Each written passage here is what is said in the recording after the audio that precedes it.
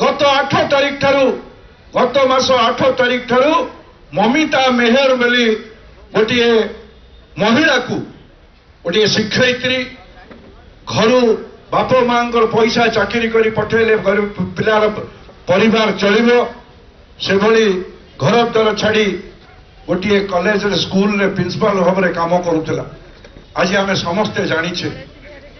କୋଉଭଳି ଭାବରେ ବିଭତ୍ସତା ଭାବରେ ବିଭତ୍ସ ଭାବରେ ତାଙ୍କୁ ହତ୍ୟା କରାଗଲା ଖଣ୍ଡ ଖଣ୍ଡ କରି କାଟି ଦିଆଗଲା ତାଙ୍କୁ ପୋଡ଼ିଲେ ଏବଂ ଆଣି ତାକୁ ଗୋଟିଏ ଗାତରେ ପୋତିଲେ।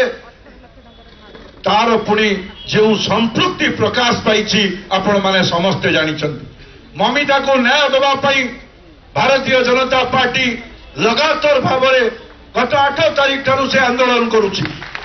ବନ୍ଧୁଗଣ ସମସ୍ତେ ଆନ୍ଦୋଳନରେ ଆମେ ସାମିଲ ହେଇଛେ।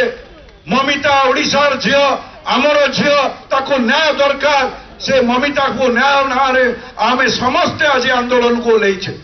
ମୁଁ ଆଜି ଆପଣମାନଙ୍କ ଏହି ମିଶ୍ରଣ ପର୍ବରେ ଆପଣମାନଙ୍କ ସମସ୍ତଙ୍କ ସମ୍ମୁଖରେ ମୁଁ ରାଜ୍ୟ ସରକାରଙ୍କୁ ରାଜ୍ୟ ମୁଖ୍ୟମନ୍ତ୍ରୀଙ୍କୁ ନବୀନ ବାବୁଙ୍କୁ ଆହ୍ୱାନ କରୁଛି। ଆପଣ ଯେତେ ଦିନ ପର୍ଯ୍ୟନ୍ତ କୋଳେଇକି ରଖିଥିବେ ମନ୍ତ୍ରିମଣ୍ଡଳରେ ଦିବ୍ୟ ସିଂହର ମିଶ୍ର ଦିବ୍ୟ ସିଂହ ମିଶ୍ର ଦିବ୍ୟ ଶଙ୍କର ମିଶ୍ର ଯିଏକି ଏଠି ଗୃହ ବିଭାଗର ଦାୟିତ୍ୱ ଅଛନ୍ତି ବନ୍ଧୁଗଣ ଯଦି କ୍ଷେତ ବାଡ଼ ଖାଇବ ଆମେ ବାଡ଼ ଯଦି କ୍ଷେତ ଖାଇବ ଆମେ କାହାକୁ କହିବା ରକ୍ଷକ ସାଜିକି ଯଦି ଭକ୍ଷକ ହେବେ ଆମେ କାହାକୁ କହିବା ଗୃହ ବିଭାଗର ମନ୍ତ୍ରୀ ମୁଁ ଆରୋପ ସେମିତି କରୁନାହିଁ ମିଥ୍ୟା ଆରୋପ କରୁନାହିଁ ସାରା ଓଡ଼ିଶା ଦେଖିଛି ଓଡ଼ିଶାର ଝିଅ ମମିତା ତାର ବାପା ତାର ବାପା ଯୋଉଭଳି ଭାବରେ ଗଣମାଧ୍ୟମରେ କହିଲେ ମୋର ଝିଅ ସହିତ ଦିବ୍ୟ ସିଂହ ମିଶ୍ର ସେ ହଷ୍ଟେଲକୁ ଯାଆନ୍ତି ସେଠି ରୁହନ୍ତି ସେଠି ବିଭିନ୍ନ ବିଭିନ୍ନ ପ୍ରକାର ବ୍ୟଭିଚାର ଚାଲେ। ତାର ଅଭିଯୋଗ ତାର ବାପା କଲେ।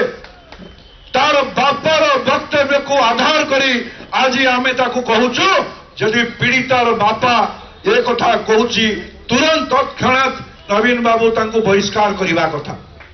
ତୁମେ ବହିଷ୍କାର କଲ ନାହିଁ ଅହଙ୍କାରରେ ପୁରୀ ରହିଛ। ତଦନ୍ତ କରୁଛ କାହାକୁ? ଯିଏ ଗୃହ ବିଭାଗର ମନ୍ତ୍ରୀ ଯାହାର ଗୃହ ବିଭାଗର ମନ୍ତ୍ରୀଙ୍କ ଦାୟିତ୍ୱରେ ପୋଲିସ ପ୍ରଶାସନ ଥାଏ କୋଉଠି ଆଜ୍ଞା ସମ୍ଭବ ହବ ଏ କଥା ଆପଣମାନେ ବିଚାର କରନ୍ତୁ।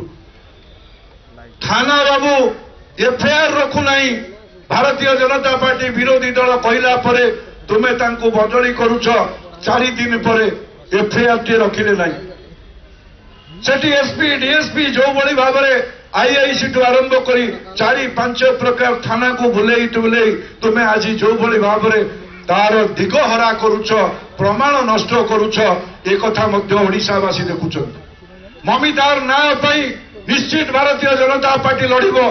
ଭାରତୀୟ ଜନତା ପାର୍ଟିର ମହିଳା ମୋର୍ଚ୍ଚାର ନେତ୍ରୀମଣ ଅହରହ ସଂଗ୍ରାମ କରୁଛନ୍ତି। ଆଜି ମୁଁ ସେଇ ମହିଳା ମୋର୍ଚ୍ଚାର ନେତ୍ରୀମାନଙ୍କ ତରଫରୁ ଭାରତୀୟ ଜନତା ପାର୍ଟି ତରଫରୁ ଆପଣଙ୍କୁ ଆହ୍ୱାନ ଦଉଛି ଯେତେ ଦିନ ପର୍ଯ୍ୟନ୍ତ ଆପଣ ମନ୍ତ୍ରିମଣ୍ଡଳ ତଳେ ରଖିଥିବେ ଏ ଆନ୍ଦୋଳନ ନିଶ୍ଚିତ ଚାଲିବ।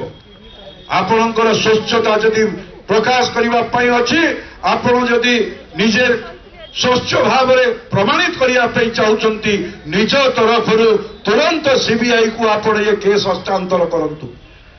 ଆପଣ ହସ୍ତାନ୍ତର ସିବିଆଇକୁ କରୁନାହାନ୍ତି ଅର୍ଥାତ୍ ଆପଣ ମଧ୍ୟ ତାଙ୍କୁ ସେ ଯୋଉ ଯୋଉଭଳି ଭାବରେ ବ୍ୟଭିଚାର ହେଇଛି ଯୋଉଥିରେ ସମ୍ପୃକ୍ତି ପ୍ରକାଶ ପାଇଛି ଗଣମାଧ୍ୟମରେ ଆଜିକି ଲଗାତାର ଭାବରେ ସତେଇଶ ଦିନ ହେଲାଣି ଯାହା ଦିବ୍ୟ ସିଂହର ମିଶ୍ରଙ୍କ ଦିବ୍ୟ ଶଙ୍କର ମିଶ୍ରଙ୍କ ବାବଦରେ ଆସୁଛି ତାହା ସତ୍ୟ ପ୍ରମାଣିତ ହେଉଛି।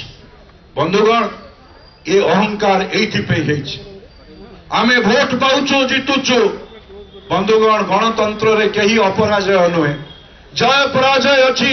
ଆଜି ଏ ଜନତା ଦେଖୁଛନ୍ତି ବିଚାର ମଧ୍ୟ କରିବେ ଆଗାମୀ ଦିନରେ କିନ୍ତୁ ଭାରତୀୟ ଜନତା ପାର୍ଟିକୁ ସାଢେ ଚାରି କୋଟି ଓଡ଼ିଶାବାସୀ ଯେଉଁ ବିରୋଧୀ ଦଳର ଦାୟିତ୍ୱ ଦେଇଛନ୍ତି ଆମେ ସମ୍ପୂର୍ଣ୍ଣ ରୂପେ ସଚେତନ ଅଛୁ ସେ ଦାୟିତ୍ୱ ପ୍ରତି ଆମେ ଓଡ଼ିଆ ଲୋକଙ୍କର ହକ୍ ପାଇଁ ଲଢ଼ିବୁ ଓଡ଼ିଶାର ମା ଭଉଣୀମାନଙ୍କର ହକ୍ ପାଇଁ ଲଢ଼ିବୁ ତାଙ୍କୁ ନ୍ୟାୟ ଦେବା ପର୍ଯ୍ୟନ୍ତ ଆମେ ଲଢ଼େଇ କରିବୁ